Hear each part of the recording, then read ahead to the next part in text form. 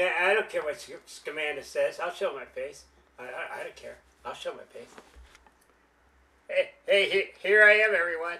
Here I am. I got my rocking my uh, '70s porno mustache here. I'll show my face. Yeah. let me see. Let me see what's going on here. Let me see what's going on here. Uh, looks like uh, Jeffrey Jeffrey uh, T. Rose says. Uh, yeah, did, did you ever try, uh, did, did you ever uh, ask any of your uh, uh, daughter's uh, girlfriends out and uh, cl- and uh, cl- claim that they're your girlfriend and show pictures of them uh, at work and stuff and say, hey, look, look, look at my girlfriend. Did you ever you ever do that? And then then post then talk about it on YouTube and show pictures of it. Did you ever do that? That's what Jeffrey T. Rose says. He's asked. Yeah, he's good people. He's good people. Hey, what else is due?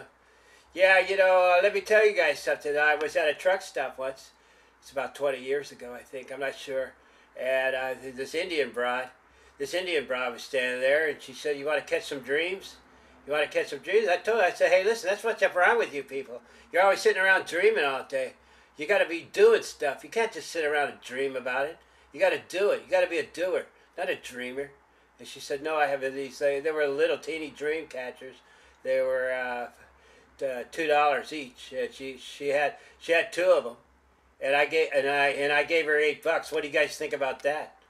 And that and that was '80s money, man. That was like '80s money. You know, you know what I'm saying?